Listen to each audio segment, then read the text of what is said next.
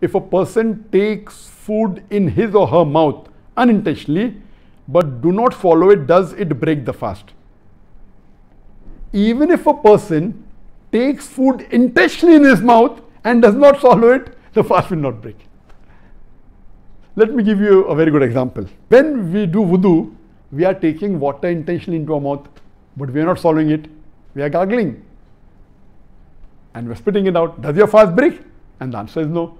So if your fast doesn't break when you take food or uh, water intentionally, similarly if you take food intentionally also you should not unnecessarily, but if you take and you spit out it doesn't break. For example, if a woman is cooking in the kitchen and she wants to know whether the salt is correct or not, she can easily take and put it in the tongue because the taste buds on the tongue.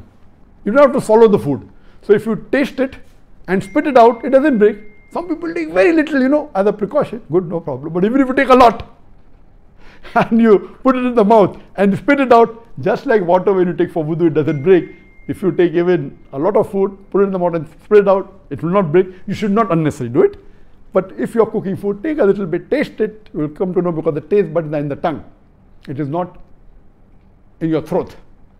So after tasting, you can spit it out, your fast is not broken and it is permissible. But let me answer something extra. If someone takes food or water unintentionally and swallows it, he forgets he's fasting, goes to the fridge, pours water in the glass, drinks it, or he doesn't remember he's fasting, he takes a sandwich and eats it, does the fast break?